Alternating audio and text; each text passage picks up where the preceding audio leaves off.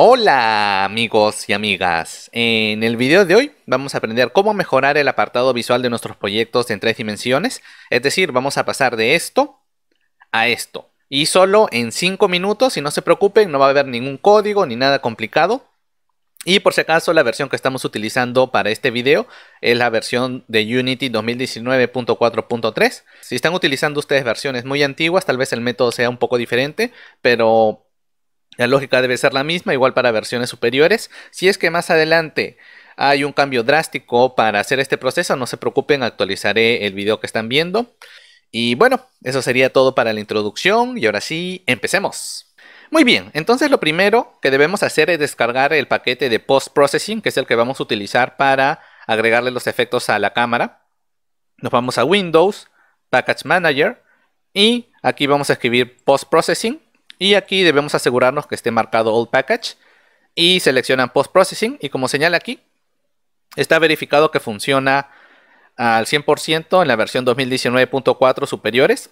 Antes de continuar, una observación súper importante es que si ustedes piensan utilizar el post processing en una versión inferior a la que ven aquí, que es la 2019.4, por favor paren este video y hagan una copia de seguridad de sus proyectos. Yo en la descripción estoy dejando un video que solo demora 5 minutos y con eso estarían asegurándose que si por algún motivo, por estar utilizando una versión de Unity muy antigua, le empieza a salir errores que no se pueden resolver, ya tendrían una copia de seguridad para seguir avanzando con el proyecto que estén realizando. Así que si lo van a utilizar en versiones de Unity inferiores a la que señala aquí, mm, me gustaría que dejen en los comentarios a ver si funciona sin problemas, pero yo en todas las versiones 2019.4 superiores que he hecho este proceso no he tenido ningún inconveniente, me ha funcionado bien.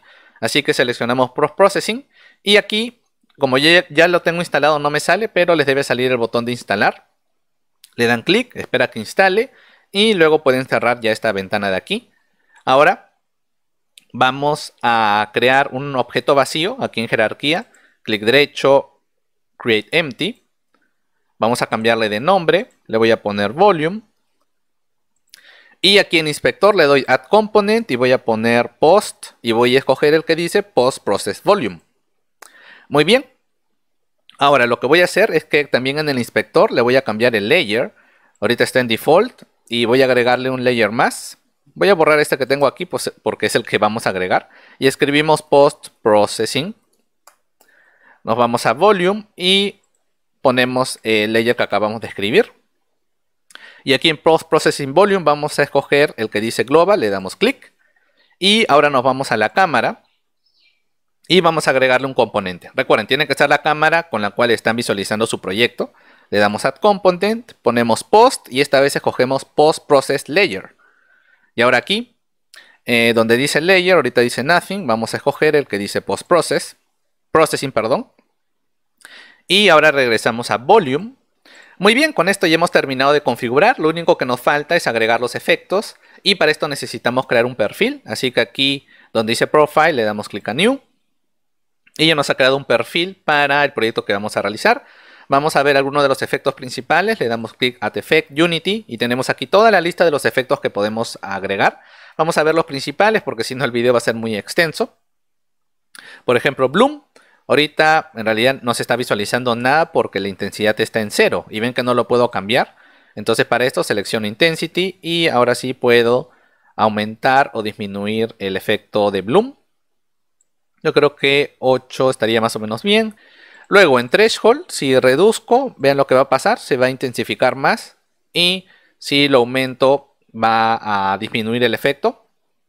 Así que yo creo que eh, un poco menos de 1 creo que estaría bien, 0,9. Y los dejo a ustedes para que puedan jugar con todas estas opciones para que vean qué es lo que va a estar cambiando en este efecto de Bloom.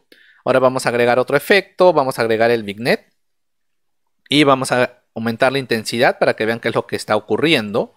Cuando ahorita está en 0, si lo aumento en 1, ven que empieza a reducirse y se ve esa área ovalada. Lo que hace es que le agrega sombras a los límites de la cámara. Entonces, este efecto es bueno, pero tenerlo en, una baja intensidad, más o menos por ahí.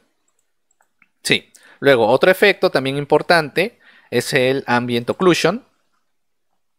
Vamos a seleccionar las opciones y Aquí me dice algo, que si quiero seleccionar esta opción, dice que solo funciona cuando el rendering de la cámara está en defer. Así que nos vamos a cámara y ahorita el rendering path está en Use Graphic Setting y también lo podemos cambiar a defer para que funcione a eh, esta opción de Ambient Occlusion marcada, pero yo lo voy a dejar como estaba en antes porque no necesito esta opción. Y aquí podemos jugar con la intensidad del Ambient Occlusion para que vean qué está pasando. Pero en vez de este color yo voy a escoger uno un poco más claro.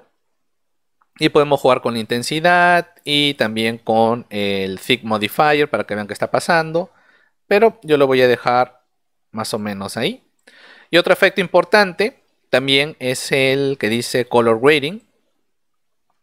Y aquí nos señala algo que si queremos utilizar el modo alta definición, debemos cambiar el Project Settings a gamma. Entonces nos vamos a File, Build Settings, Player Settings, aquí donde dice Player, Other Settings, y ven que en Color Space está en gamma. Si queremos utilizar el de alta definición, tenemos que cambiarlo a lineal, pero yo lo voy a dejar así. Y de igual manera podemos cambiar el tinte, la temperatura para que vean qué es lo que está realizando esto de aquí. Yo lo voy a dejar en cero. Y aquí en Color Grading, la saturación en contraste también es importante. En cero es blanco y negro. Y si lo aumentan a 100 va a ser más, bueno, como dice, saturado los colores. Y en contraste esto lo hace en cero, bueno, en menos 100. Y en 100 haría este efecto de aquí. Yo creo que más o menos por ahí estaría bien. Y también podemos jugar con cada uno de estos efectos. Gain podemos ponerlo que sea un poco azul. Y bueno, esos son los efectos principales. Ya les dejo para que ustedes jueguen. Ah, perdón, el depth field también es importante. Lo que hace esto es que a más alejado sea un objeto, se vea más distorsionado y ese efecto a mí sí me gusta bastante. Vamos a activar todas las opciones. Y ahorita, por ejemplo, miren la pantalla cuando voy a reducirle en vez de 10, si lo empiezo a reducir, ven que se está volviendo más borroso. Por ejemplo, en 3 ya se empieza a distorsionar desde esta lámpara de aquí. Y si empiezo a reducirlo, ya empieza a bajar más, ¿no? Este efecto es muy bueno, especial cuando son mundos abiertos, para que a más lejano es el objeto, tenga ese efecto real de distorsión.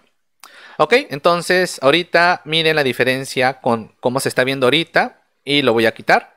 Ven que así empezó inicialmente y con estos pequeños ajustes ya se está viendo mucho mejor este proyecto. Ahora, aquí tenemos un perfil y si deseamos podemos crear otro perfil para hacer cambios diferentes. Por ejemplo, en vez de este yo tengo otro que se llama este de aquí. Ven que este es un poco diferente al anterior. Y igual está mejorando bastante eh, la visualización de nuestro proyecto. Lo único que sí vale la pena señalar es que esto consume bastantes recursos, en especial para dispositivos móviles. Así que lo que sugiero es que prueben exportando una versión con el post-processing y vean qué tanto está bajando los FPS de sus proyectos, porque en realidad este fue el mayor inconveniente que yo tuve con un proyecto que estaba haciendo para, para Android. El rendimiento bajaba bastante de 60 cuadros por segundo, bajaba hasta 30 cuadros por segundo cuando le incluía el post-processing. Así que vean ustedes mismos también qué tanto está afectando este efecto en sus proyectos para Android o iPhones. Y en realidad el que más pesa en realidad creo que es el Bloom, porque hasta tiene un modo que dice Fast Mode, que si lo activan, optimizaría para que funcione en dispositivos móviles. Por si acaso voy a estar haciendo un concurso en el Instagram donde voy a estar regalando este perfil que están viendo en sus pantallas con estas configuraciones, es decir, no tendrían que configurar nada. Por ejemplo, así se ve desactivado y aquí con el post processing con el perfil que les voy a regalar. Y para participar lo único que deben hacer es seguirme al Instagram y hacer un comentario en la publicación que voy a hacer de este video, algo así como eh, quiero por favor el perfil de post processing y automáticamente estarían participando y yo terminando esta semana, es decir el domingo, estaría escogiendo a 10 personas que han comentado y me estén siguiendo en el Instagram y a esas 10 les voy a regalar este perfil para que no tengan que estar haciendo ninguna configuración y automáticamente tendrían estos resultados. Muy bien, ahora ya podemos ir guardando, le damos File Save y File Save Project. Y con esto llegamos a la parte final de este video. Me gustaría por favor que dejen en los comentarios si ustedes piensan utilizar este método de Post Processing en sus proyectos Y también no se olviden de suscribirse y dejarle un me gusta a este video si les ha servido. De esta manera estarían apoyando a que este canal crezca y siga llegando a más personas. También me apoyarían bastante si me siguieran al Instagram que está saliendo ahorita en sus pantallas y que yo igual voy a dejar en la descripción de este video. Mando un saludo súper especial a todos aquellos que nos están apoyando en la página de Patreon. Hoy vamos a ver la página de Itch.io de Kama. En su página van a poder encontrar diseños de personajes estilo pixel art con animaciones que van a poder utilizar de manera totalmente gratuita en sus proyectos. Como por ejemplo tenemos a este personaje femenino con estas tres animaciones y también tenemos ahorita este cangrejito con las animaciones correspondientes y él va a ir subiendo más adelante más complementos gratuitos que van a poder utilizar y también actualmente se encuentra desarrollando este juego Heart of Artemisa aquí ahorita están viendo en sus pantallas algunos avances de este proyecto que en realidad me parece que está quedando muy bien. Así que si desean descargar algunos complementos gratuitos y ver los avances de este proyecto de Heart of Artemisa, yo voy a dejar el enlace de su página Ditch.io en la descripción. Muy bien, eso sería todo con respecto al video de hoy y como siempre que tengan un excelente día. Adiós.